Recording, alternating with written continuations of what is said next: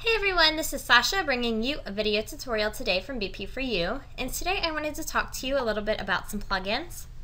And so plugins are kind of like add-ons that you can add to your Lightroom. Um, you can add these to Photoshop as well. Um, so they are, they're just like little outside programs that you can add to, into them that usually have a very specific job. For example, um, I did have a plugin called Portraiture. Um, I really loved this this um, plugin, and so you can get this and you can buy this one online. You can also get a free trial of it. There are several websites that sell it. So this is a skin smoothing um, plugin, and you can see that you can go from this to this. Um, that would be a little bit strong for me, but you can see how you can use that in order to really enhance um, the skin and take away all those imperfections, maybe some acne or wrinkles, and really um, go through and smooth that out. And so, another one that I had looked into one time, I had seen a friend use it, and she had this picture that was almost completely black. And what she had done is she had grabbed a picture of her daughter. She didn't check her settings, her camera settings, before she took the picture which is something that everybody does from time to time. She loved the picture, but you almost couldn't even see it. It was really, really dark.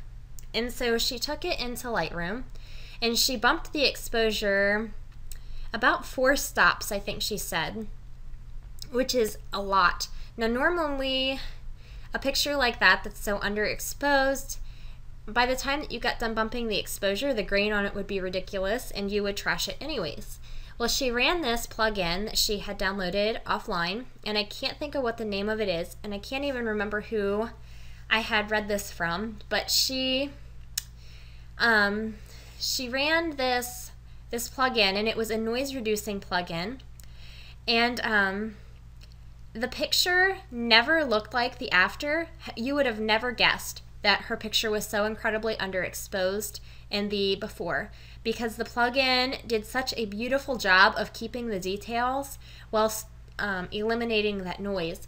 And so definitely go ahead and type into your favorite search engine some free plugins so that you can try those out. And they will come with some downloading instructions as well on how to install them into your into your version of Lightroom. And so they can be really fun to play with and they can be just great little add-ons to your to your Lightroom. And so when I had the portraiture, I would come up here into my menus and I would um, just go ahead and I would select that and it would open it up into a new menu over top of my photo. And it would almost work similar to how a layer would. Um, but then when I applied it to my picture, of course, it was all smushed down into one and it would just take me back into regular Lightroom.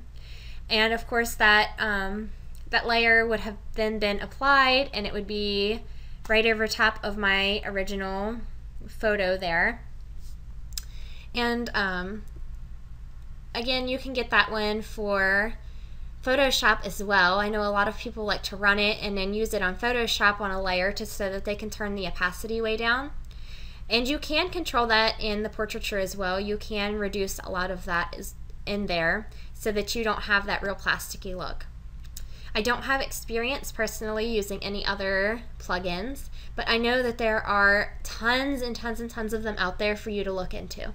So thank you for watching this video tutorial. Happy editing!